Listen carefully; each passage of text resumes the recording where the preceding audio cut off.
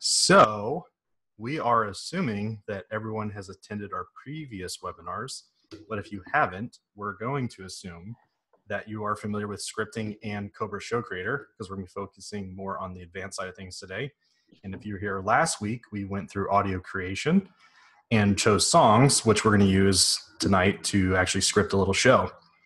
I do want to mention that the song order that we kind of went through last week was slightly tweaked, and you'll kind of find out once Dan starts getting into the scripting.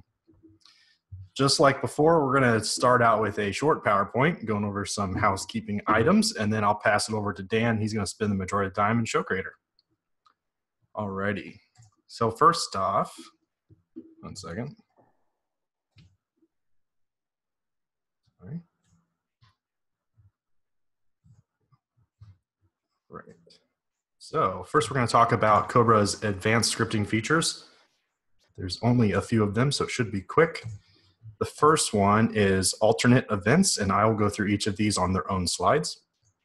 The next one is the dead man trigger. Then we're going to talk about disable firing, and lastly, SMPTE timecode. So the first one is alternate events. So what are alternate events? basically an alternate event is an event that you specify in your script that you can manually trigger to fill black sky or if you just want the control of firing something during your show while it's automatically running. We have two different options, basically defined as alternate one and alternate two. In Show Creator, inside of your show settings, you'll see here all of our different script options, and the highlighted ones are alternate one and two. You can specify any button on the 18R2 to be the alternate firing button. So for example, in this case, when I push Q17, it's gonna fire an alternate one button. As I fire it, it'll just sequentially fire through those alternate one buttons, or uh, Qs. There are 18 Qs per option, so 36 total just mention this, but each time you push it, it'll sequentially fire. And if you wanted to assign an alternate within your script, the second image here shows that if you click on the time field, it'll bring up this pop-up and down at the bottom, you'll see two options to make your alternate one or alternate two. And yes, they can also be scripted within your show. So if you want to have something firing during the finale, but you also want to use those as alternate cues in case something ends early, you can do so. If you don't use them, they'll just simply go with your finale. All right, so the next two options we're going to talk about are the dead man and disable firing options. So the dead man can either be a button on the 18R2 or you can use the dead man trigger, which I have one. This plugs into your 18R2 and you have to hold this trigger. So what is a dead man? So the dead man basically requires you, if specified, to either hold the button you specify or the trigger in order for the show to run. If either one of those were not being pushed or held, the show would basically pause. And this is an example also within the show settings and show controls where you can specify that. So you see the top highlighted column there is the dead man button. And if you're using the trigger that I just showed you, you'd type in dead man, or if you wanted to use the button on the remote, for example, Q18, you would type in 18. The next option is disable fire. And so basically this would allow you to push a button and the remote would show no fire on the seven segment display. And then when you start your script, the cues wouldn't fire, but the audio would. So basically dry run your show without actually firing anything. Uh, next oh. option is SMPTE timecode. Scott is going to talk about this. Oh, sure. And two things on the dead man as well. On the top of that dead man, there's also a button that when you press it is the step button on the 18R2. And then the other button on the top is the alternate one button. So if you get that dead man, it does more than just the lever for the dead man. You also have two additional functions on the top, which is kind of a neat, neat feature. So cool. Now with SMPTE, uh, we're, we're going to be doing a full webinar on SMPTE later, so I'm not going to cover all the details within this, but I do want to cover enough to give people an understanding of what it is. Uh, even though we do not have SMPTE live on our website today, it will be coming out very soon here, I promise, uh, with our 5.1 firmware release. We probably have over a good uh, 100 individuals and customers using SMPTE today within our beta program, so it does work quite well. Uh, this, if you don't know what SMPTE is, it's basically a, a digital uh, feed. Uh, essentially, it's a it's a feed that's that comes out of an audio system, right? So basically, you can create an audio file that actually contains data that's within it, which is kind of a weird concept. So if you actually play SMPTE into a speaker, it kind of sounds just like like this type of a noise. So if you've ever been on a shoot site and you hear that, oftentimes because uh, somehow they ended up feeding SMPTE into the sound system. And what you do is you can feed that SMPTE time code into one or more different systems, right? So you could feed that into Cobra. Uh, you can feed it like an 18R2, for example, that we're talking about here. You could feed it into multiple 18R2s and other different systems, such as other firing systems. You could feed it into DMX systems, all kinds of stuff that's out there. But the purpose of it is to allow multiple systems to synchronize together and fire at the exact same time. With Cobra, we offer two different SMPTE timecode options. One of them is timecode one. Uh, it is the most liberal of the options, meaning that if your SMPTE timecode is lost or corrupt, your script will continue to fire. Uh, however, SMPTE, excuse me, timecode two, if you do have a lost or corrupted timecode signal, the script will automatically pause on your 18R2. And there's different reasons why you would want to use timecode one or timecode two, depending on your situation, safety, variety of factors, but we do offer both uh, timecode 1 is typically the most popular. Uh, both the 18R2, as you'll see in the picture on the right, does have an RCA port for supporting the timecode input, and the command center as well does also have a timecode input port. Uh, the firmware that this is available on is 5.1 or greater. And you can also use AudioBox, uh, even without the SMPTE adapter on the 18R2. It is common for people to use the AudioBox to feed SMPTE into other systems. So if you had another firing system alongside Cobra, uh, you could actually have the AudioBox feed it, and the 18R2 would then fire in synchronization with that separate firing system. And also you can configure your script at the bottom here. It actually shows in column J, row two is where you would actually place that SMPTE argument. Um, if you do, if you are interested in SMPTE prior to the 5.1 release, absolutely get in contact with us. Uh, and we can help answer any questions that you have.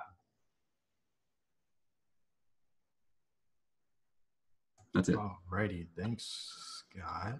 You're welcome. There are a few questions that did pop in regarding Deadman and SMPTE. Yes. So, question one: If you do not have a Deadman control and script is running, can you stop script? Yeah. If you simply push ARM pause button, it will pause the script. So, for example, in your remote, say ARM slash pause. You just push that again, it will pause. Uh, only eight, new 18R2s have SMPTE. Uh, John, the SMPTE well, is available for any 18R2 that Cobra has ever sold. It is simply an upgrade kit to the existing unit. You have to uh, have Deadman switch or can use the button in the 18R2 or just press the fire button and let it rip. If so, can I halt the script in music mid-show? So I think Joel kind of answered that. Um, you don't have to. So you don't have to use Deadman on the 18R2 or the physical switch. It is it is purely an option. Most people don't use either. They just simply press a button on the 18R2 to start the show, and they do not have any Deadman controls. So it's, it's typically if your show requires it, you know, based on the AHJ or whoever may want to, or your state or country for that matter. Alrighty, so the next slide, we're going to kind of talk about our site layouts. We're kind of specifying this ahead of time so that way once we get into the scripting section, you kind of know what we're going to play with. So we already kind of have this planned out. This is our theoretical site layout. So you'll see here that we have four cake or shell positions in the back labeled as technically B1, 2, 3, and 4 here. And then we have four front positions. I'm sorry, we're using four because uh, 500 gram case are traditionally packaged for one, so we figured use four positions. And we'll talk a little bit more about multiple positions on the following slide. So we're using five front positions, and this is going to allow us to do things such as chases. So those are all labeled as F1, 2, 3, 4, and 5. And we're not going to talk too much about equipment needs today. We're going to save that for next week's webinar, which is going to go all into different types of equipment and so forth. So I want to mention why we're going to use four back positions even further. So if you're just using one position, you know, your shells are going to go up, they're going to break pretty central right here like this. but if you use two positions, you're going to mirror them and you're going to cover more sky. Or in our case, we're going to use four positions and it's going to cover even more sky, right? Um, same with the fronts. So we're going to be using five different front positions, and this is going to allow us to do some really cool things. So for example, using comets or mines, you could simply shoot these straight up if you wanted to, or you could do something like angling them from left to right, or again with right to left, um, or get a little more creative and do something like crisscrossing across the fronts. Okay. And there's obviously tons of different options you can do here. So if you want to get super creative, you can do all sorts of crazy different. Um, Hey, hey Joel, maybe try on your mic to keep it, it's just kind of getting a little louder, softer, and muted. uh, okay. Yeah. Not sure how to. no.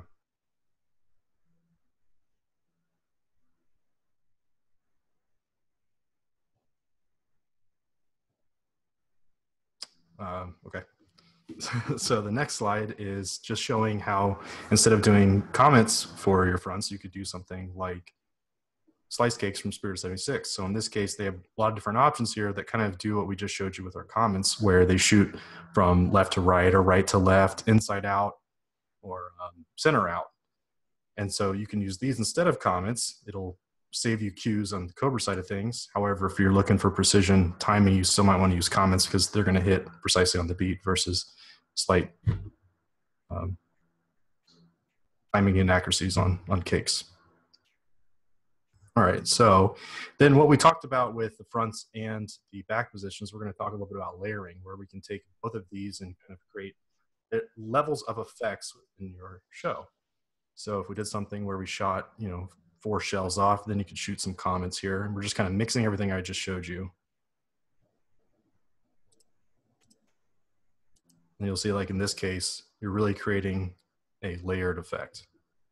At this point, I want to pass it off over to Dan so he can take you into Show Creator and go through um, actually scripting this.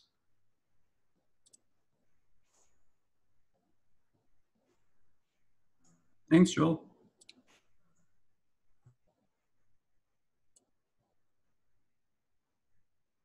All right. Hey, guys.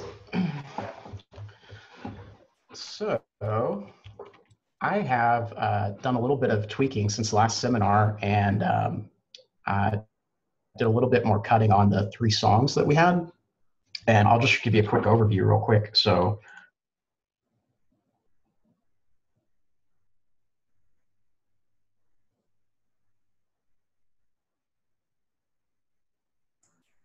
we lose Dan? I think we lost Dan.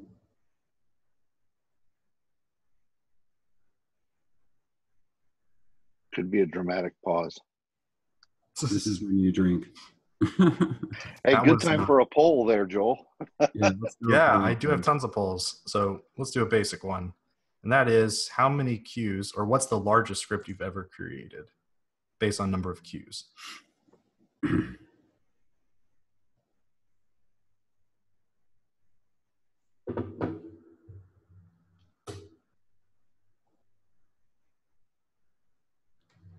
So it's a question about why would you use alternate one and two for filling black sky as opposed to hitting individual cues prearranged to fill black sky.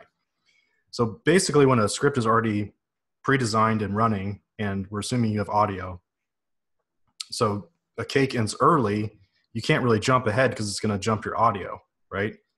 And so it's already is pre-programmed or pre-arranged. So if something does end early, you just hit the alternate and it'll send up a shell or whatever you want to fill the sky.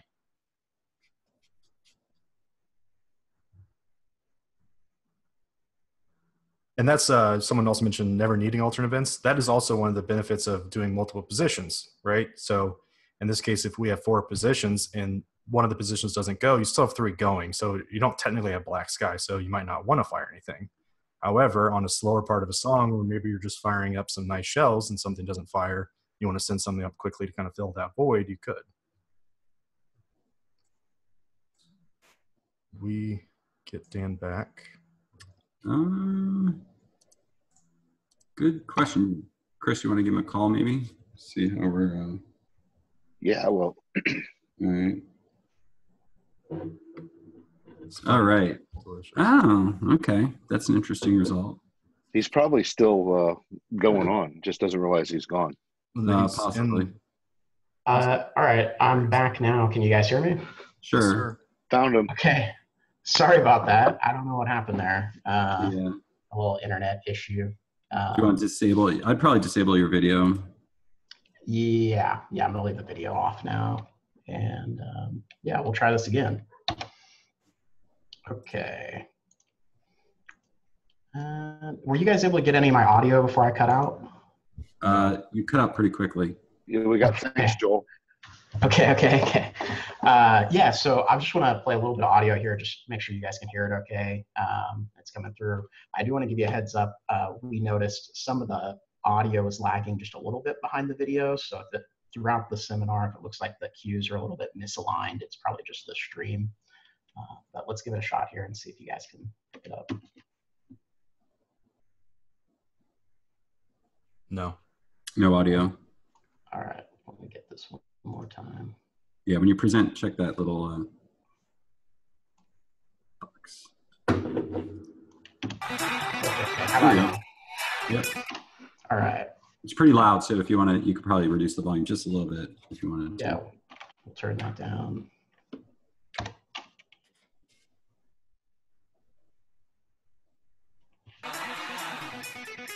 That's better. Too loud.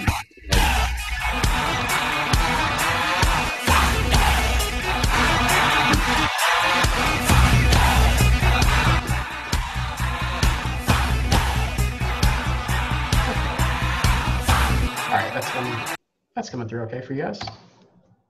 Uh, a little bit loud, but, Okay. but it looks like we've got some people who want that, which is great. All right, cool. Uh, so do a little bit of setup here real quick. So get things started, um, you'll notice the beginning of the song here starts out. I don't have anything scripted in yet, so that's the first task to get going is to script in the how we're going to start the show. So play that a little bit. Starts out real soft. Um, right here, I'm thinking we're going to go ahead and start dropping some fireworks in. Uh, probably start out with some strobes, just kind of get things going a little bit in the field, set the set the atmosphere. Uh, so to do that, I'm going to be using uh, some of the keyboard shortcuts. Um, one of them is to add a cue is Alt A. So put Alt A, and you'll see it's adding up here some spaces to put cues in. Um, for this, I'm going to flip back to my shoot site. So I've got four, five positions in the front and four in the back. So let's go ahead and put uh, let's put a strobe at every single spot in the field.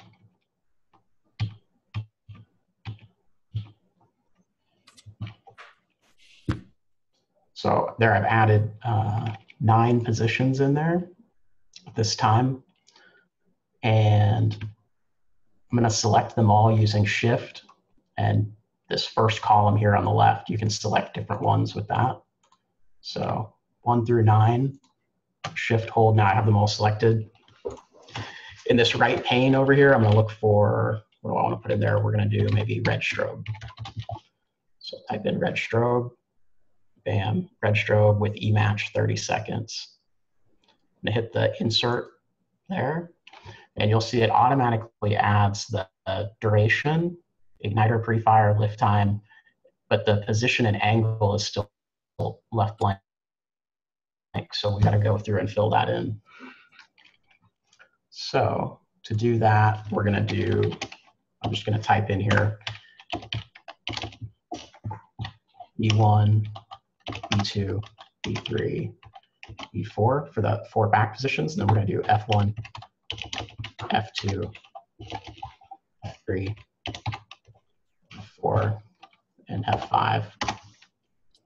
Angle, these are just strobes. They're going to leave that blank. Um, I'll go ahead and put some channels in. If we wanted to do this, I would just reference my uh, sheet here. So one through five on the front is going to be channel one through five. So I'll put those in starting on the front one right here.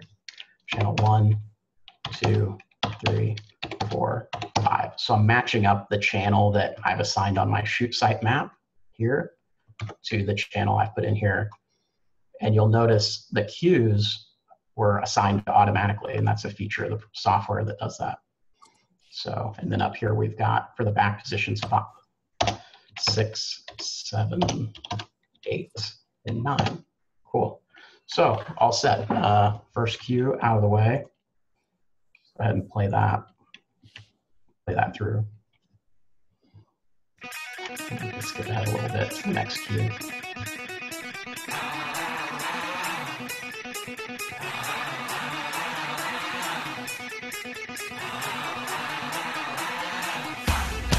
right there uh, where they said thunder, that's going to be our next spot that we want to put something in.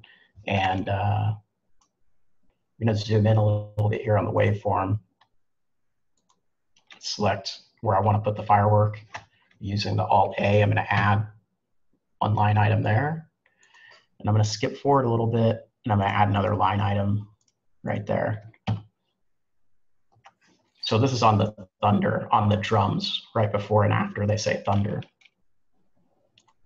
For that, I'm thinking maybe we'll script in some mines, which is a nice quick hit. It's gonna hit right with the beat of the drum.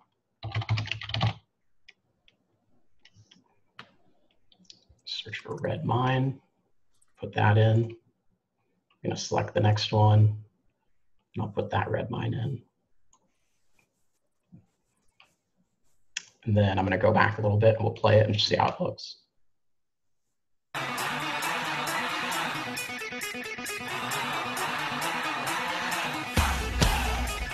might have been a little bit off.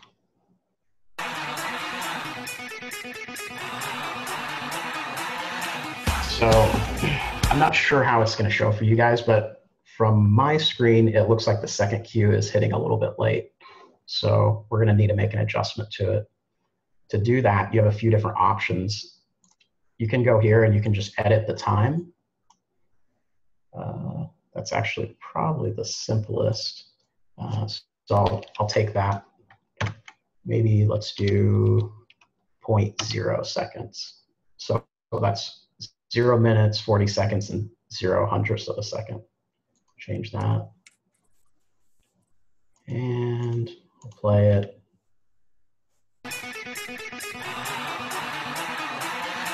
That's pretty close. Um, another option, what I'll do a lot of times when I'm scripting is if it's a little bit off, if I do it before I put the cues in, I might just delete it. The delete key, go exactly where I want it, maybe like right there. Hit Control A to add, and then hit my plus sign over here at red mine. And that's a quick way to add it in. So uh, next thing we want to do with these two we want to assign a position. So going back over here, I'm thinking we'll start out with these two mines, uh, front three in the center.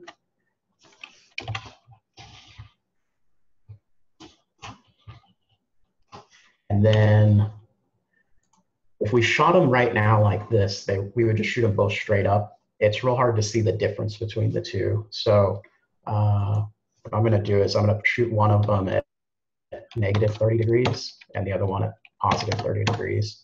And that'll give you a little bit more uh, distinction between the two. And even though they're only uh, 39.23, uh, they're only five tenths of a second apart. Yeah, visually, you're when you see those launch, you'll notice the difference in height as they're coming out uh, out of the tube.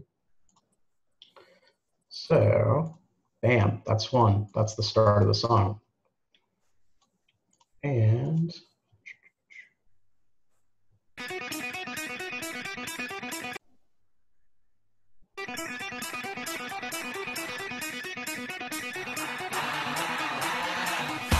you'll see uh, this same sequence we just did basically is just repeating itself over and over. And the only thing that I've changed, if you look here, is the position. So the first one shoots at F3, negative 30, positive 30. The next one shoots at F12, negative 30, positive 20, then F5. So basically what we're doing is every time they say thunder, we're kind of bouncing around the field from different positions and that's kind of moving the audience's attention around.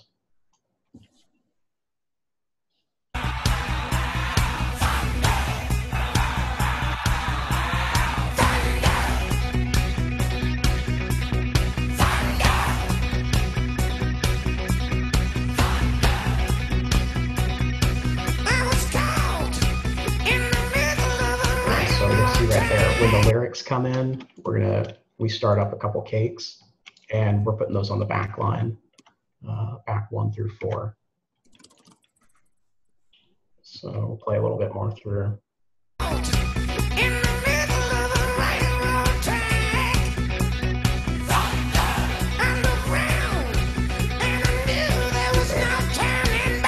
Um, I'm gonna skip ahead a little bit now.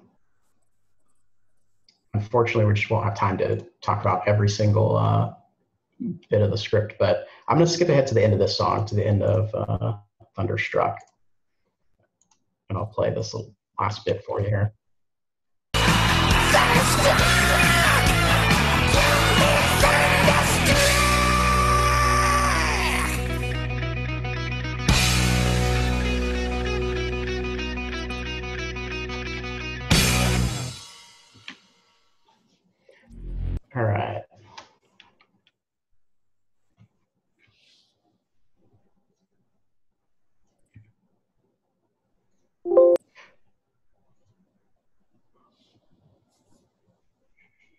Okay, so uh, there's three big drum hits end here.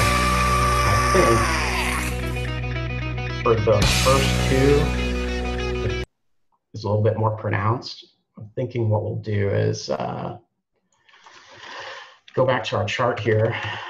Uh, look at something like maybe putting a fan slice in there. So seven 40 millimeter comets. That's a little bit easier than trying to wire up seven individually. So SC 300 series. Let's look at maybe Golden Rain Comet with Golden Mine.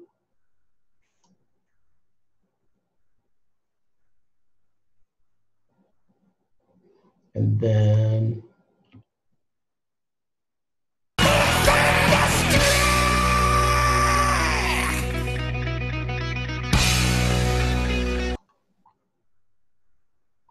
thinking right there, we could do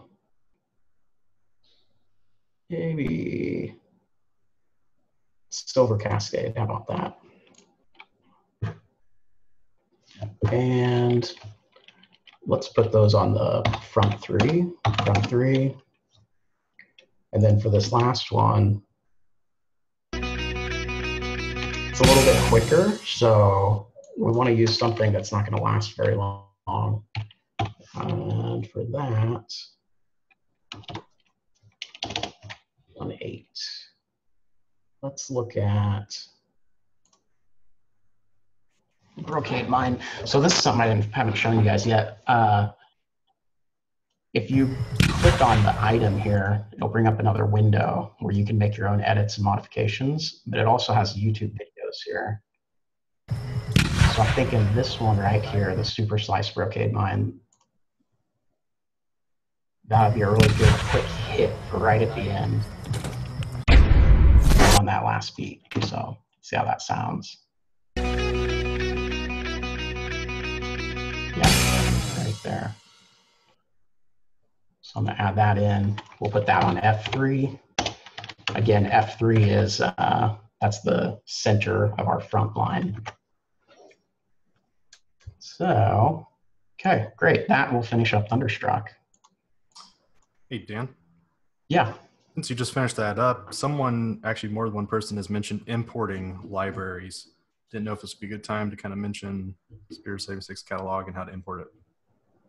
Yeah, absolutely. Um, so super simple, really easy. Uh, if you want to use the catalog that I'm using now, which is I've got the full Spirit of 76 catalog imported in here. Um, basically, all you need to do is go to web browser, go to 76proline.com and click on under display showcase, go to display resources. And down here, you'll see a link, Cobra Show Creator Library. Click on that. That's actually a, uh, it's a Google Drive live link. So uh, there's three files in here. They're all CSV files. Uh, one of them is for Skybacon and Realtree. One of them is for 76 ProLine professional use only products. The other one is for 76 ProLine consumer legal products. And if you wanted to import one of these, all you'd have to do is right click on it, hit download. That's going to download a file to your computer.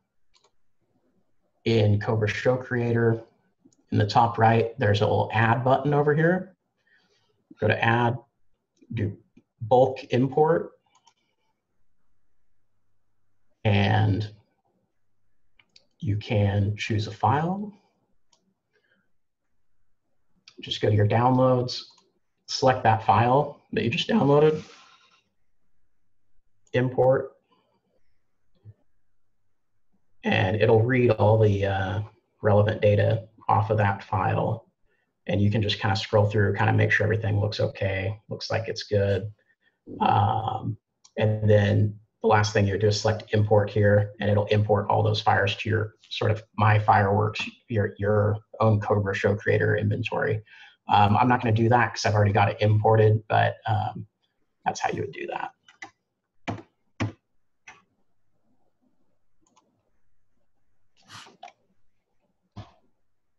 And Brandon, so we're we're working on some other things as far as getting more catalogs supported, but uh, so yeah, that is definitely. I think you'll see stuff in the future for that. Yeah. You can also do, if you want to do add manually, you can add your own in here and um, you can add from Wiki Fireworks. I haven't tried that one yet, but I think a lot of people use that. Yeah, and that's a good point too, Joel. That as long you know, if you can get the file format, and like I said, we'll be working with more manufacturers. But if you can get the file format, if you just match that spreadsheet import format, it'll you can import it right in. Cool. Yeah. So yeah, and man, if you have the if you have the fireworks already in here, it'll make scripting go a lot faster. Um, I started with this one. I had all the cues assigned earlier today. I didn't have any fireworks put in, and it doesn't take very long once you have your catalog built up. So it makes it go a lot quicker. Uh, duh, duh, duh.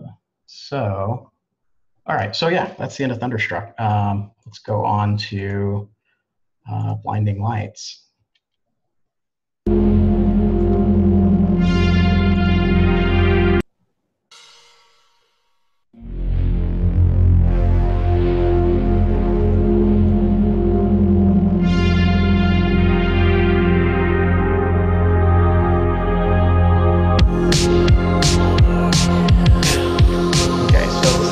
Slow, soft uh, opening.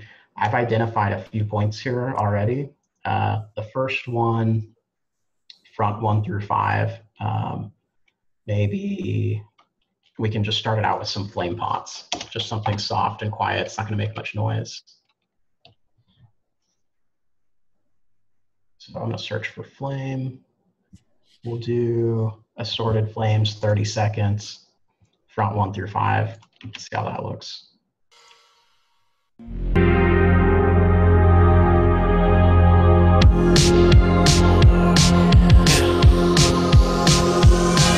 Okay. Uh, next cue is kind of when the drums come into the song. So for that, I've got four more cues identified. We're looking at back one through four for these. And I'm thinking like a waterfall or horsetail effect, something soft and quiet. We don't want to make a lot of noise because the song is real soft and quiet. So we don't want the fireworks to be too loud. Uh, uh, maybe actually the skyline. Yeah, we can do this 25 shot silver strobe sky mines. It's kind of a Z effect. It's real slow and soft, and the breaks are real quiet. They don't make a lot of noise. Let's put that in. Damn. Okay, great. So we got the flames, we got the sky mines.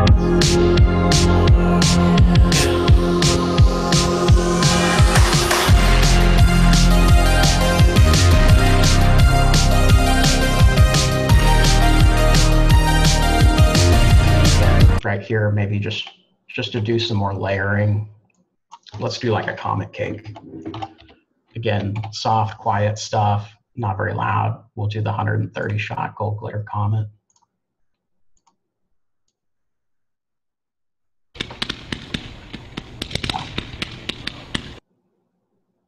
And right now I'm showing that one on back one. Uh, that would not look very good though, because we want to keep things symmetrical. So we're going to move it up to front three. That'll be a center position. Still comets, mines, non-breaking. Uh, so we'll do that for that one. Let's see what else we got in here.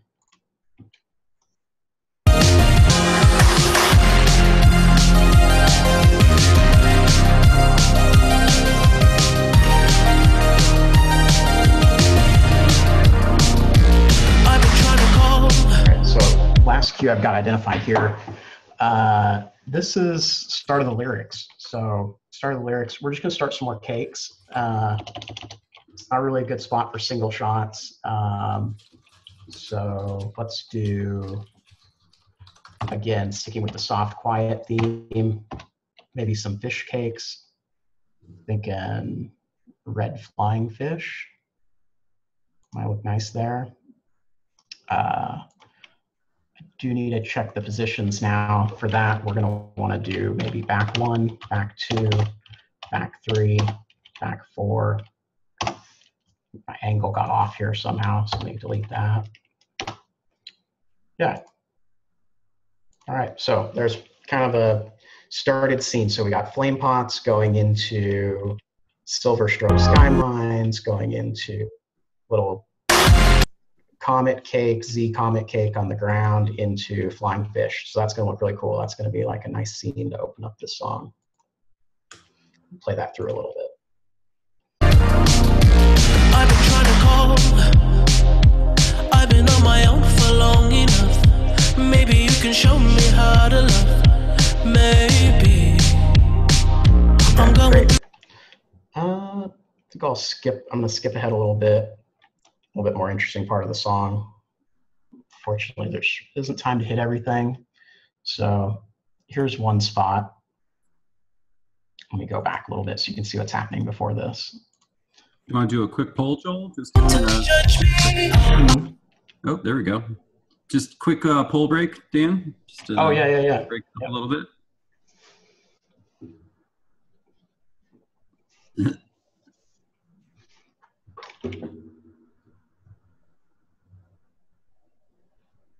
Uh, there's actually there's a spot in here where we can do the poll for the fireworks if you want to do that.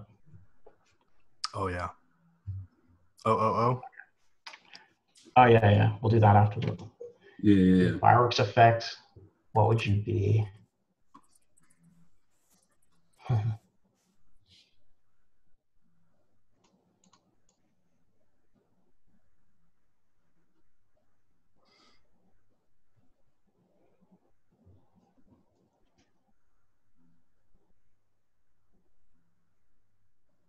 You're welcome to continue on while that's running. Okay, yeah. Just for fun. Uh, all right. Yeah, yeah, yeah. Go get her. When you're gone. On my So if you missed it, there's a kind of a three punctuated o o o or ah ah ahs right there.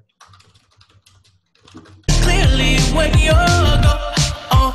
Go On first. my And so I've already identified those as a good spot for single shots. Um, we've got the first one shooting at uh, straight up from the center position, and then two more going left and right from the center position, and then two more left and right at a steeper angle. So that's kind of like a comet sequence where we're opening up, uh, called a curtain open sequence. And then, oh, what do we got? Oh, Salute. So, Nice. I like it. Really thought Go Getter would be better. I was rooting for Fireball. Yeah. Yeah. Everybody likes the salutes. mm-hmm. Uh, all right. So, good, awesome.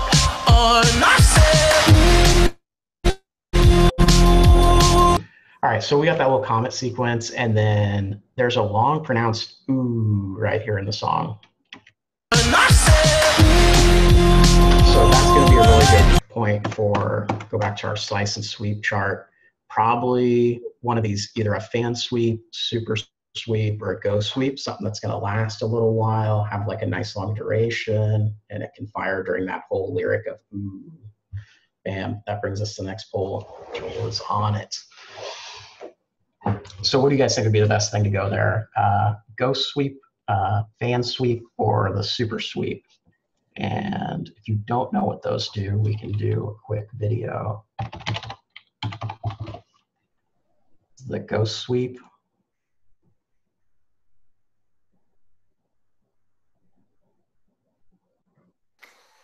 I was muted.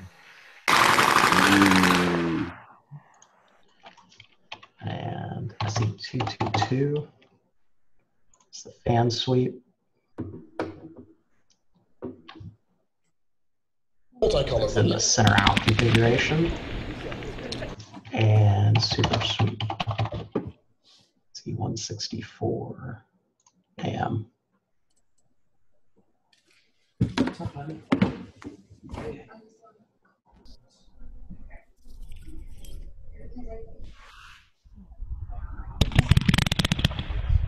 Yeah, so there you go. Vote for which one you think is best. We'll script it in. Right now, we'll just go ahead and close it and share the results. Looks like Go Sweep. Nice. Yeah, that's my favorite too. All right, let's put that in. Sweep, green to blue to red. Okay, cool. Got it.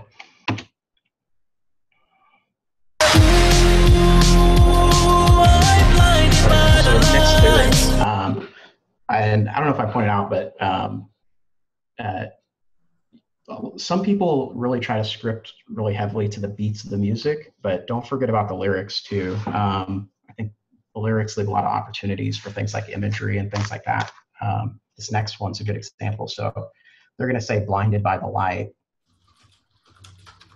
Good opportunity to do An effect that's very bright and visually stunning. Um, so for this, I'm thinking something like the photo flash and maybe we'll do the uh, maybe we'll do the sweep. Uh, so that'd be this effect where it's going to sweep across the sky with the bright white flashes.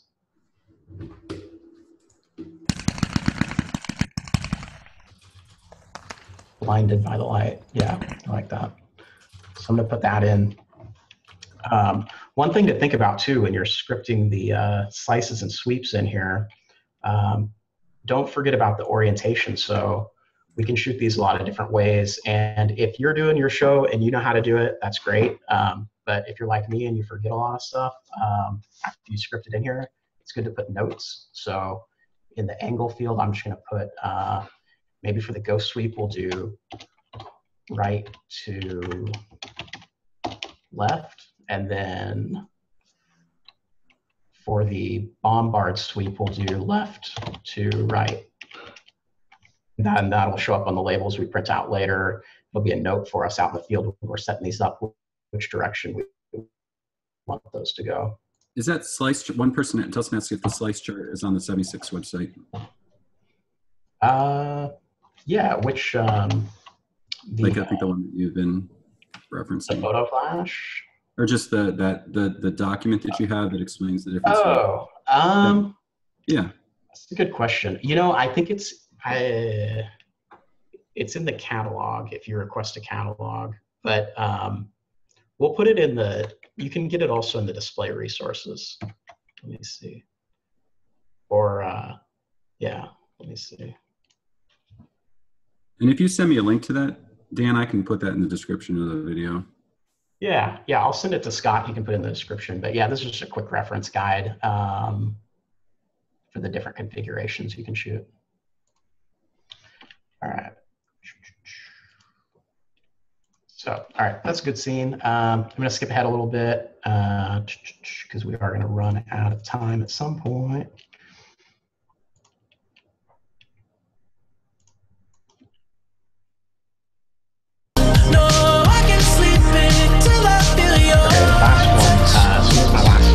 example of using imagery in the song. Uh, the lyric is, don't sleep until...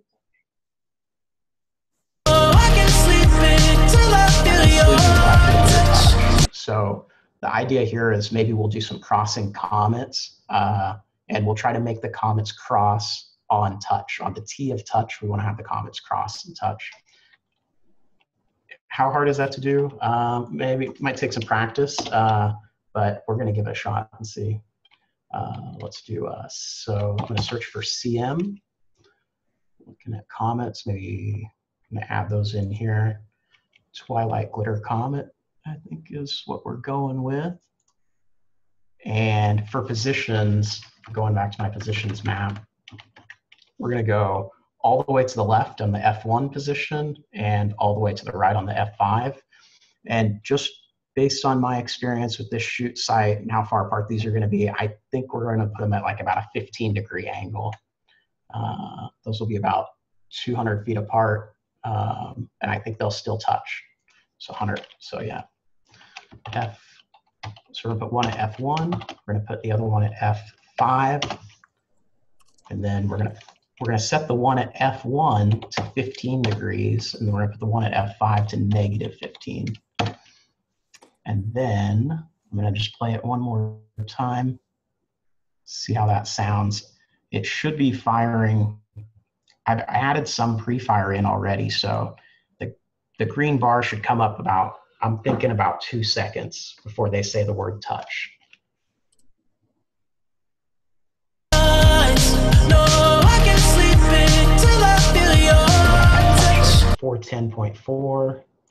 and it's firing at 409. So I might want to back those up just a little bit. And to do that, I'm going to select these two. I'm going to right click. And then you'll see when you have more than one item selected, you can do what's called shift cues. So I'm going to select shift cues. I'm going to back that up maybe, uh, maybe back it up about eight tenths of a second. So negative 0.8. Okay, so that's going to fire a little bit earlier. I think that's about right. Um, if you want to get really OCD, which I highly recommend, uh, you can go back and play the YouTube video, listen to the music, play the video, listen to the music, play the video. I'll do that a lot when I'm scripting these shows, uh, just watching videos, playing the music, dial it in really close. So I believe that wraps it up for the second song. Yeah. Joel, you got any more of those fun polls we can do? I got you. Right. Superpower. What shoot site superpower would you like to have? Oh my God, this is my favorite one.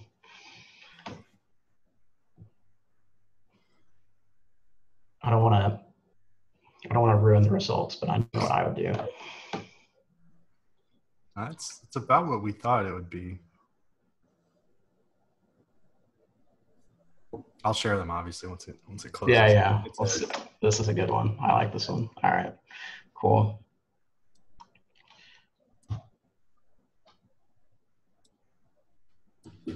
All right. So last song, bam, we're cruising. But uh, last song we got is Pirates.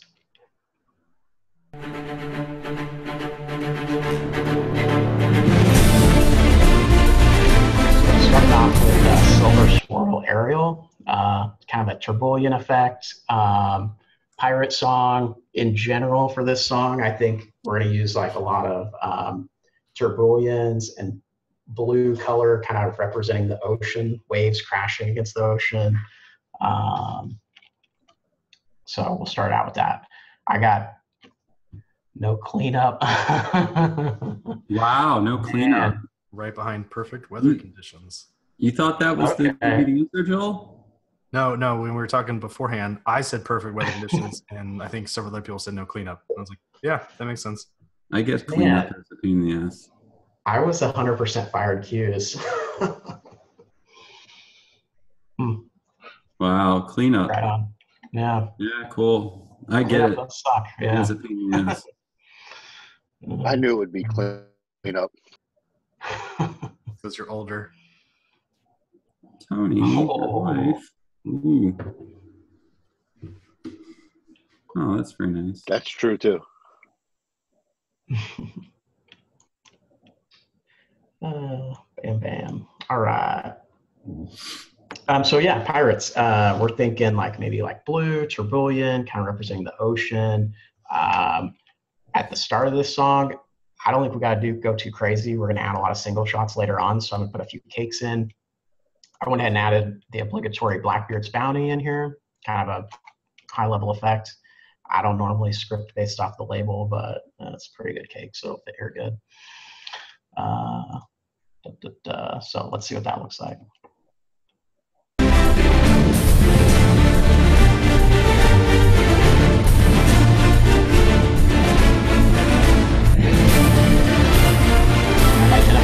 Points in here already for single shots. I'm going to go ahead and just play this through, and um, we're going to script the uh, the final sequence leading into the finale. I'll do that one together on the stream, so I'll just play up to that so you get an idea where we're at. We got Tourbillions with Red Go Getters.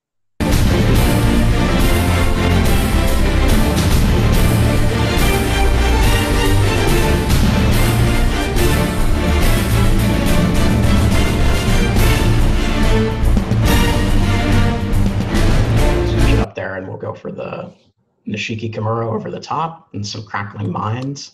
Uh, crackling Mines are going on the front three, four, and five. So the, it's basically what it is is it's the the right side shooting to the right and then the left side shooting to the left on an angle.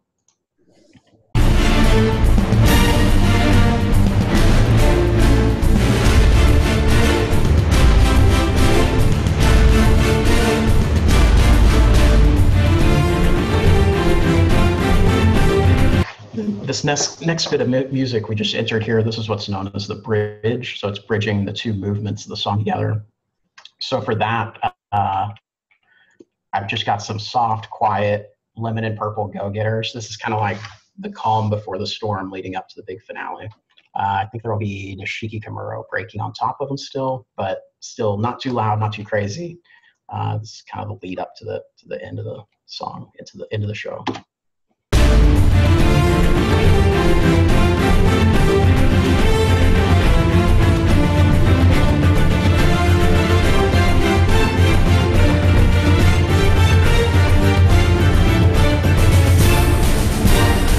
All right, that takes us to the finale. So I've gone through ahead of time just to save us some time, and I've identified um, these hits at different um, different points that we want to try and punctuate with some single shot items. Uh, and I'm going to play that the sequence that we're going to script. I'll play that through right here first. Here you go. Okay, so it's a it's a single hit, another single hit, and then a sequence of one, two, three, four, five in rapid succession.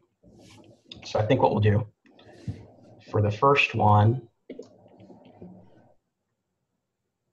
I'm going to go ahead and do two devices for the first hit. I'm going to go back to my mine category, which is going to be MN.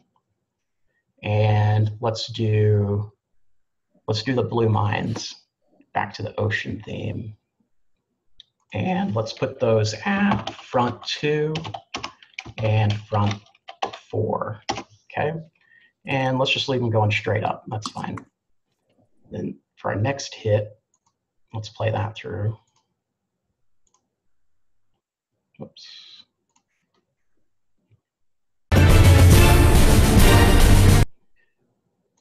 Next cue, uh, let's do, I've only got one line item in here, but let's go ahead and add two more. So I'm using the Alt A to add more at that same position. I'm gonna select all three of those and let's do a different mine. Um, something different than the blue mine, but we can do, sticking with the ocean theme, we'll go back to the silver. So blue and silver, uh, yeah, silver cascade mine. Uh, That'll look good there. And then I want to do different positions than the first time. So I'm going to do front one, front, front one, front three, and front five. So between the first hit and the second hit, I'm hitting all five of my front positions. I'm just doing two first and then the remaining three on the second hit.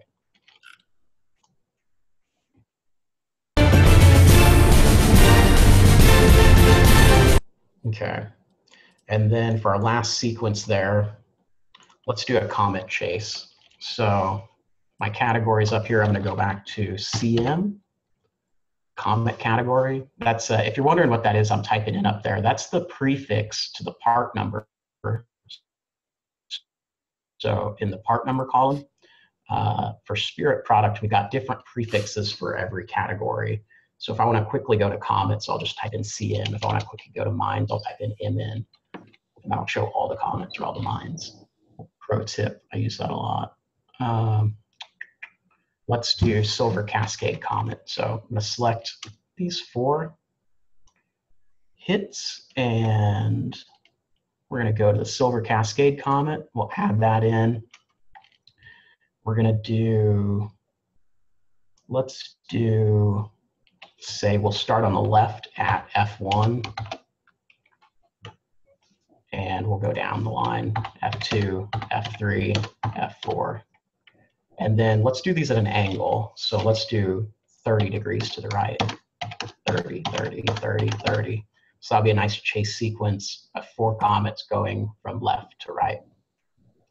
And then what you'll notice here, if I zoom out a little bit, oops, slide back over, you'll notice that sequence that we just scripted, it actually repeats one, two, three, four times. So uh, basically repeating the same thing over again four times in a row, and that'll lead us into the end of the song. So I'll play that through and then put the finale in here and call it a day.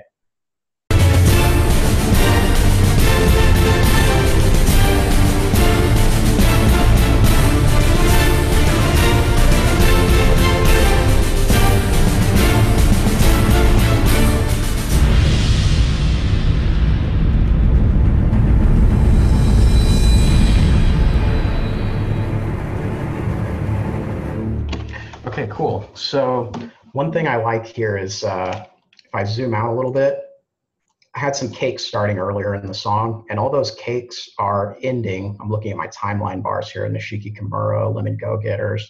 They're all ending right about the end of this fade out, this long fade out. Um, I kind of want to put something in there to bridge that time. And then I'm thinking we want to put a little button hit right at the end of the show so people know it's over right at the end. Uh, so maybe here, why don't we just do some flame pots? I'm Gonna zoom in here. We'll put, use my control A, I'm gonna add four, well, let's do five. Up here, I'm gonna search for flame. Let's do, uh, uh, maybe blue flame. Oh, don't see the blue flame. All right, we'll do red. That'll be the red would symbolize in this, I think, war, blood red ocean. Yeah.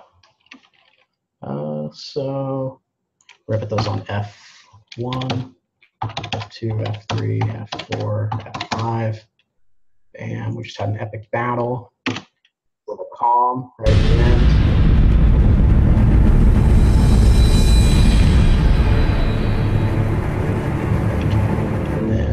Think right there on that last, I'm going to zoom in.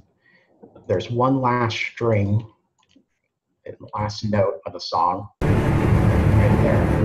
I'm going to use that as a, a launching point for the finale. So for that, let's do finale boxes. I'm going to search for finale. We have a lot of finale boxes. I like Time and Crackle. Let me add some more spots in here. Control A. One, two, three, four. And let's do the 12 shot finale box timer Rain Crackle. Here's what that looks like. It's going to shoot all 12 shots simultaneously. Real quick. It's like two seconds and it's done for the whole cake. So, yeah, let's add four of those in. That'll look nice. We'll put those on the back line, B1, B2, B3, B4. And um, the only thing about the 200 gram is it doesn't go super high. So I want to add something a little bit higher altitude. Uh, for that, I'm going to look at 60 millimeter. Uh, so that'd be my TB category.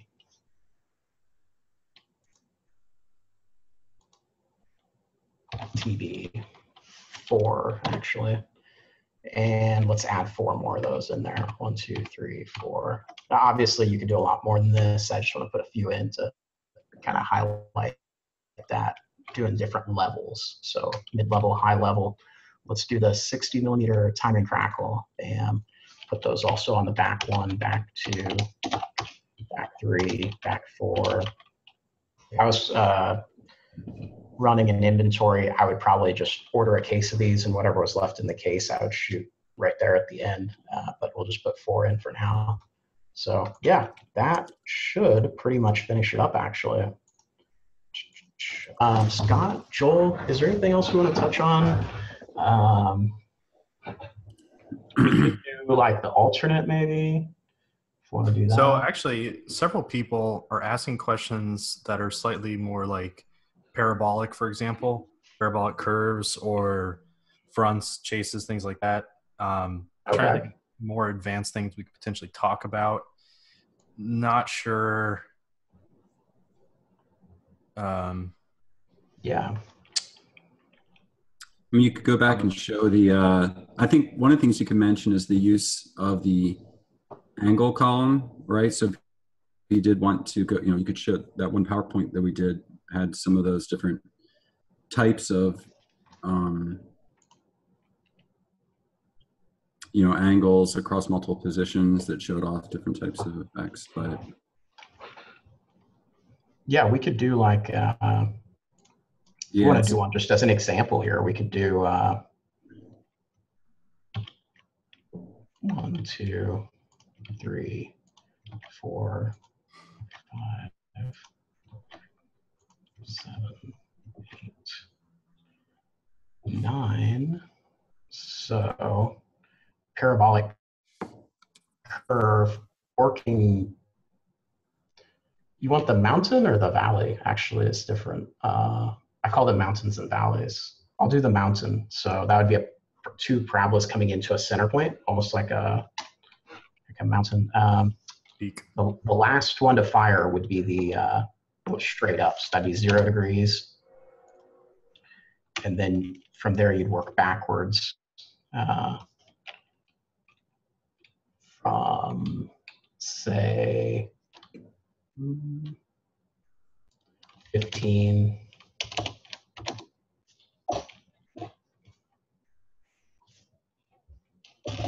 Negative 15.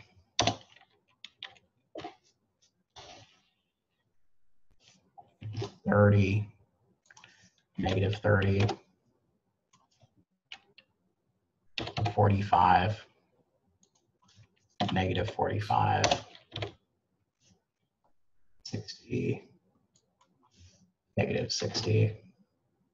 That'd be one example of that, and then obviously you'd have to line out your positions. But um, you could also do the ten degree increments, and that would be a little bit more precise if you have more positions. So uh, 10, 20, 30, 40, 50. Um, if you mix the two, then you could do the even more precise, even more positions. If you did the uh, 60, 45, 30, 15 versus 50, 67 or 50, 40, 30, 10. Um, I, I typically use the 15 degrees a lot just because we use a lot of Pyrolama equipment and those are built to specific 15 degree increments. But obviously you can do uh, all kinds of different stuff depending on what kind of equipment you have um, and how you want to set it up. So uh, if you're not familiar with what a parabolic curve is, if you simply Google parabolic curve, it'll give you tons of examples. And it's one of the spectacular things you can see, like a really good pyromusical. So I, I know you're punching in the angles. It just can be difficult to visually see. You could show a video of it. Yeah. If you just Yeah. Google a video of it, Dan, can you just show like a YouTube? Like if you just Google a parabolic fireworks curve or something? Yeah, I'm looking for one right now. Fireworks parabolic curve. Hmm. Actually, harder than you would think to Google. right? yeah. Yeah, that's Uh, true. Yeah. If you, I mean, there's like graph paper examples. If you just do parabolic curve, Yeah. but the whole Mhm. po- whole point is you're just trying to replicate that curve with fireworks, right? Right, right, right. And that's kind of what I was talking about on the slideshow. Of you know, you could do simple just left to right, right to left chases, or get creative and really start throwing in some fun angles in there. And if you can visually think about it, you you know you could easily plot something out on paper of drawing where you want things to go and translate that into a show. It's it's uh, Yeah, absolutely. I, I always keep a uh, sketch pad right in front of my keyboard, just a little notepad that I can kind of sketch notes on, and um, I'll kind of plot out positions as I'm scripting things. Like if I do a mine here, here, here, and here, how does that leave? Um, working out the because obviously you might have a set number of positions in your script, like you might have five positions and you might want to do a chase that only has uh, the the beat of the music that you're trying to hit with the with the chase might only have three or four. It might have six. So how do you how do you align uh, six position six hits to five positions? And that can be kind of a a tricky thing. Uh, sometimes you end up changing your position layout after after you get in scripting partway through. I've done that before, so it's kind of a it's a process. You know, you have to go through um, revisions. It's kind of like anything else. Uh, uh, if you you're essentially be like writing a song or um, uh, writing a novel where you have the first draft, the second draft, you go through, clean it up. Um, that's usually my process. I'll go through, I'll, I'll put together a first draft and then I'll go through, I'll listen to it, maybe take a nap, sleep on it. I like to listen to the music in my car. I'll do that a lot. I'll work on it and then I'll drive home, listen to it in the car while I'm driving home and I'll think about something while I'm driving and it'll, it'll start to click. So, um, yeah. But there's definitely a lot you can do. And Yes. this software just makes it so much easier to um, to put put what you have in your head down because uh, if you're scripting from Excel, it can be a little bit a little bit more difficult, or you're trying to script by hand, um, makes it difficult. Yeah, someone had mentioned just the space constraints, and uh, obviously, you know, if you don't have all the space in the world to to do your show, you're gonna have to think about that when designing. So, like someone mentioned, having a Mhm. true uh, parabolic, you might need, for example, he said 11 positions. I've heard someone mention 13 positions to do like a true. Is it 13? You get the point, though. Is if you can't do that, you know, Yeah. you can modify it though and still have some resemblance of a parabolic in your smaller show.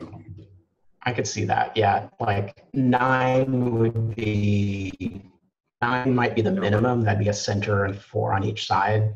At eleven would be much better. Thirteen would be even better. So, um, yeah, someone looking for a post a video of YouTube video in chat as an example with a one minute. Yeah, I've got like a good one here. I think I have a video that shows it really well.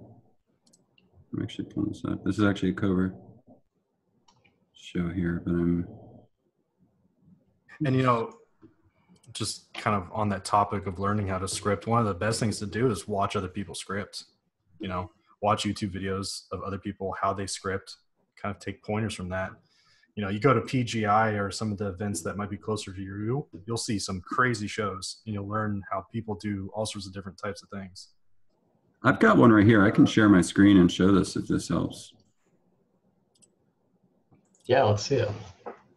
Uh, let's make sure.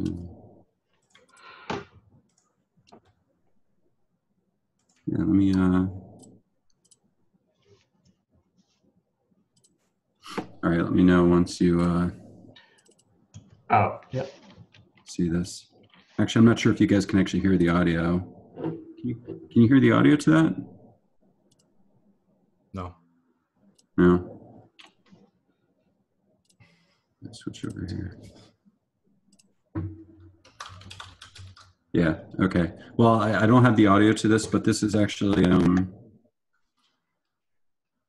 you see it, I think it's right about here. I'll just fast forward. Can you see my screen though? Yep. Yeah. Yeah, so give it a second here. See that right there? That was kind of a s- right here. Just watch this one more time. Right. Not yet, but right. Right here. See that? See how those are kind of parabolic? But this is actually a really good show to kind of watch. But anyway, that was the best I could do. Uh, yeah, I'm gonna put a, uh, I'll put a link in chat also to the ProLine display resources. So um, on the ProLine display resources page, you'll find examples of probably like, I don't know, 10 or 15 different fireworks shows that we've shot um, over the last few years. And one of the nice things is you can watch that video, but then you can see all the show files behind that. So if you're curious how that script was made or what that shoot site layout looks like. You can pull up all the same files that we use to make that show um, and look at them. You can see the site layout, the video, um, all the reports and labels and different things, and you can poke around inside there and maybe get some ideas. Sure. Anyway, I'll stop sharing. So cool. Do you want to? We can kind of jump to Q and A right now. Do you think, Dan? Or unless you want to listen to the whole show from start to finish, I'm not sure if that's gonna if that takes too long or. Um, you- yeah. that'll take a little while. Why don't we do Q and A? And if people want to stay on, I'll um, I can requeue my the show up if people want to watch the show from start to finish. Um, we can do that after Q and A, maybe. Yeah, no, that sounds good. All right, great. Um, 52, right? So we kind of already answered some of the parabolic. Uh, side should not cross some parabolic comments, right? I know, I know there's a number of different ways of doing it. So yeah, if anyone wants to ask ask any uh, questions, uh, I know there there were some questions earlier, Dan, about purchasing Spirit product requirements. Um, you could maybe touch on that. I know we talked a little bit about that earlier. Yeah, sure. So, uh, product requirements. So, for purchasing, um, it does depend a little bit on where you live, whether or not we can ship to you. Um, if you want to pick up in Missouri uh, at our warehouse in Boonville, Missouri, you can pick up, obviously. And then state by state for shipping uh, may depend. Um, for the, the question we get a lot is the pro use items. So, you'll notice on the website and the show we just scripted, a lot of those items are restricted to professional use only. And what does that mean? Well, it's not a 1 3 item, it's still a 1 4 item, but it's a 1 4 item that's uh, classified UN 0431, Articles Pyrotechnics. Uh, before Spirit 76 can sell you that product, we need to verify your pyro experience, as it were, make sure you are actually a professional. And the way we do that is uh, we have an authorization form we'll have you sign send back to us and we'll ask you to send something else back like a license or a training certificate or something to just kind of show that um, you've uh, handled fireworks in a professional way um, before and then we're able to sell you those products. So uh, you can uh, talk to one of your sales reps at spirit uh, or email service at 76fireworks.com and they can talk to you about all the requirements for that as well. So yeah. Just launch another poll as we answer more questions. Uh, so Ryan is the site layout part of Show Creator. It's it's not uh, yet. So that's a great. Uh, that's definitely in our future plans. Um, how do I script an alternate event? Um, you could you could show that Joel if you want. I mean we've got some time. Yeah. Uh, the next question was comets, mine, slices. You recommend zero pre-fire time. Yeah, if you're using all the ProLine stuff with eMatch, it's instant ignition. Uh, but I, I will make a comment on that, and we talked about this actually earlier today at noon. It's it's always better to have comets and mines or ground type effects fire a little bit sooner because um, it's always more notice noticeable. Well, if you had a choice between them firing too late or too soon, you typically choose too soon because you, the effect will kind of grow into the sound crescendo that you've chosen. Whereas typically, if you fire something a little bit too late, it's more noticeable that your timing is off. But when you fire something a little bit too early, it's less notable that your timing is off. So, um, so you could you could use a bit of a pre-fire time or zero, or just try to script it a, a smidgen early.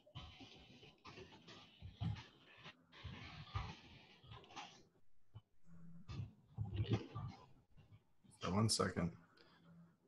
Bring up show creator here to show you the alternate event script.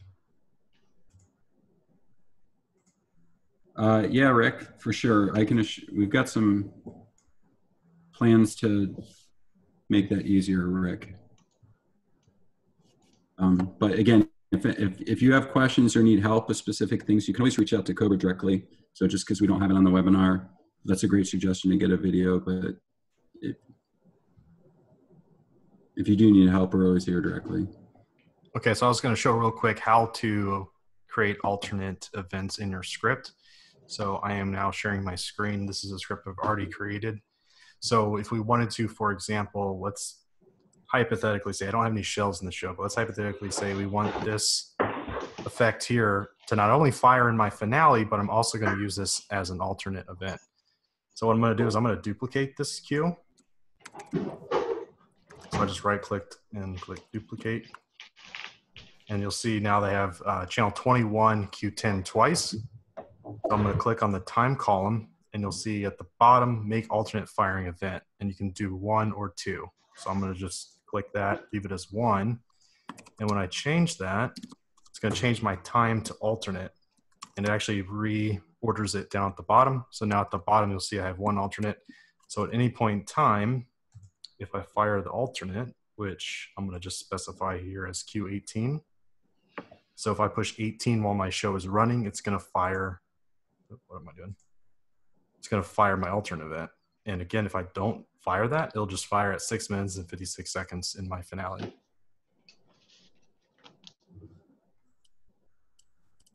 That answers. Uh,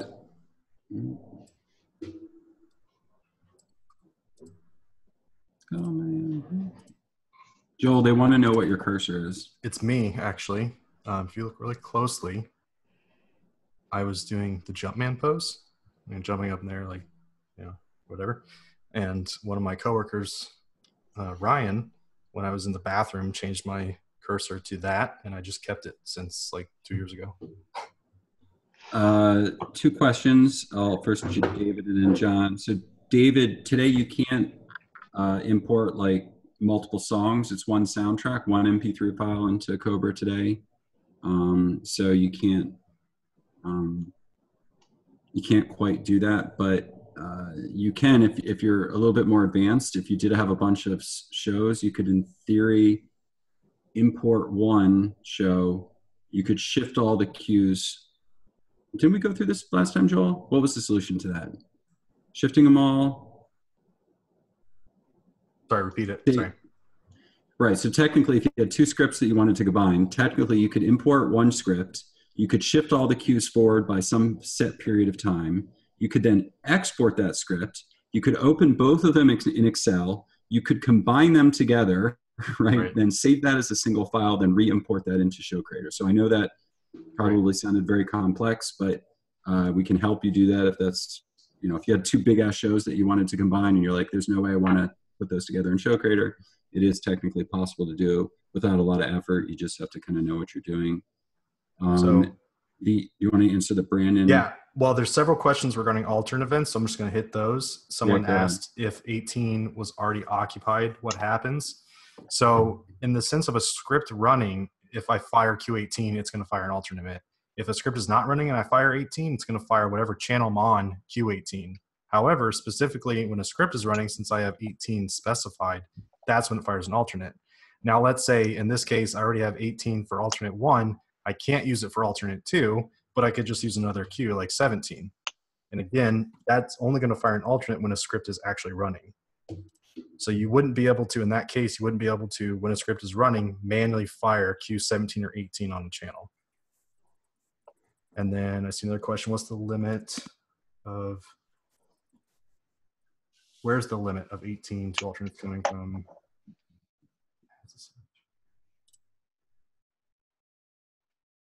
Not understanding the question on the limit. It doesn't Uh, have to be the limit? Uh, It doesn't have to be the same channel. It's just simply 18 cues. Um, someone else asked what Yeah. channel. Where's that? I think it's just a limitation grant. I, I can't remember why we have that limitation, but um, hopefully you don't need more than 36 alternates. Um,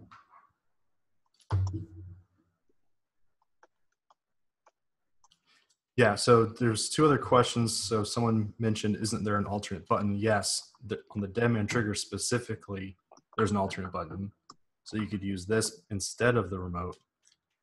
Someone else asked, um, trying to see, someone was confused on why, what was that question?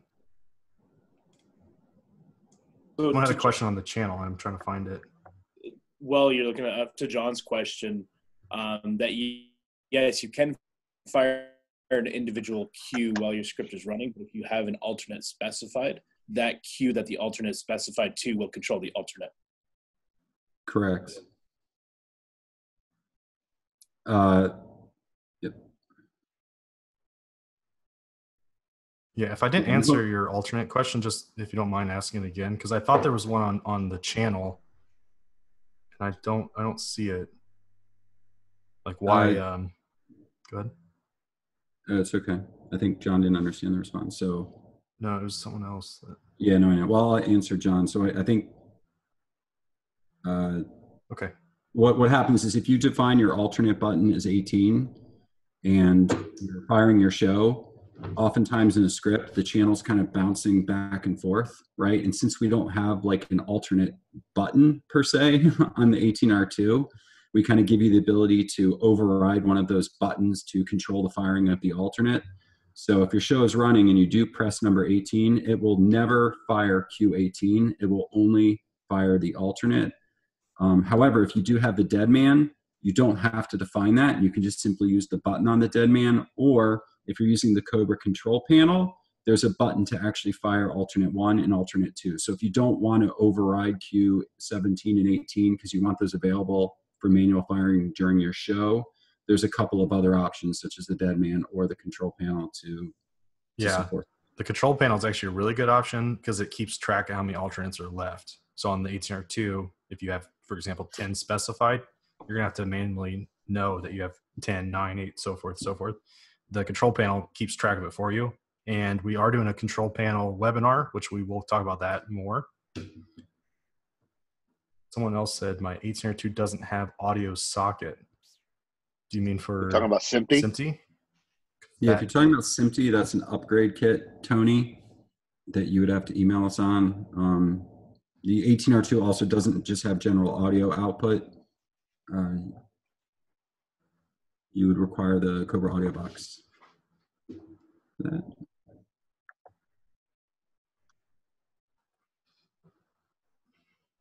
Sure, John. Are you from Germany? If you are, we can ship to Germany.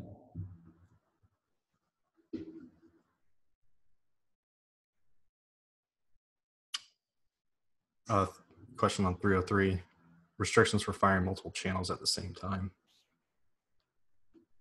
303 remove the restriction to fire multiple channels at the same time, so no, there is no restriction.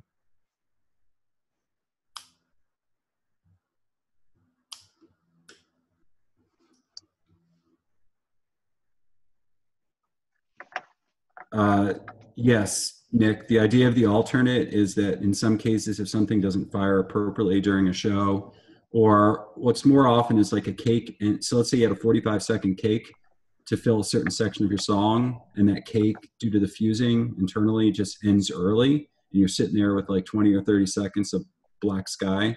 The idea of the alternate is you can fill that black sky where there's an inadvertent um, pause in fireworks. Is the, is the primary goal. And we have two different types of alternates. So sometimes people may have like alternate one could have a couple of longer cakes, right? So maybe two or three cakes that you can use for filler.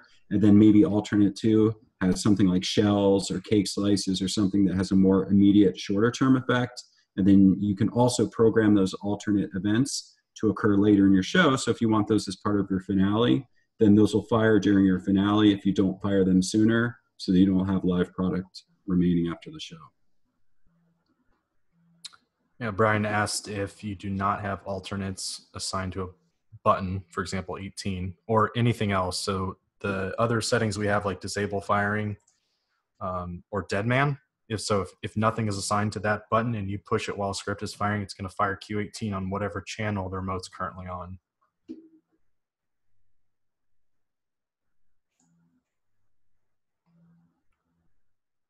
Uh, that's correct, Jared. When you pause the show and you have an audio box, it will pause the audio and the show. And if you press it again, that will resume both, keeping everything in synchronization.